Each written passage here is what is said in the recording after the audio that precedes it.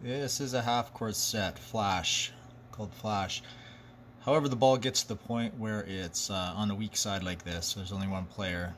Ball handler has the option to call a what's called flash. So they yell flash. All that is basically is a five out set. Everybody's rotating in this instance this way.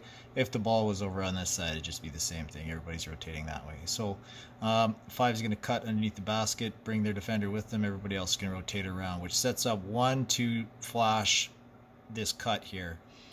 If one is a good defender, cuts them off at the hoop, set up in the mid post area here. And as everybody's rotating around, two would come to this spot. Three is then going to drive that lane, looking for the pass um, from one who's set up in the post.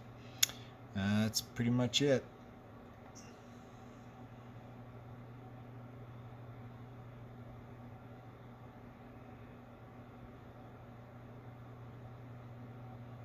So could have drove there, or if that's not available, reset